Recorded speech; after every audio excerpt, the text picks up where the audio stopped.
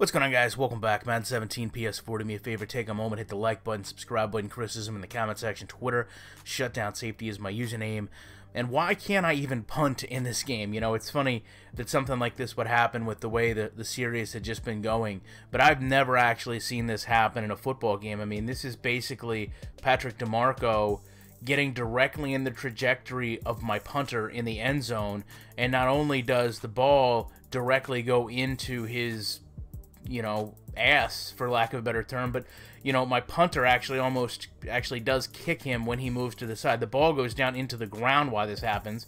And then I can deal with some of the clipping of this, you know, that's okay, but it's the logic here. I mean, yes, his leg goes completely through him, but what is the logic of you're protecting the punter and then standing directly in the path of which the ball is going to be punted. You can see the score here is 2 to 14. This was ruled a safety. It's not actually shown up there on the scoreboard, but something I really don't understand in this game is some of the decisions players elect to make, and this is probably one of the most confusing ones. Love to know your thoughts on it. Appreciate you checking it out. Back shortly with more commentary.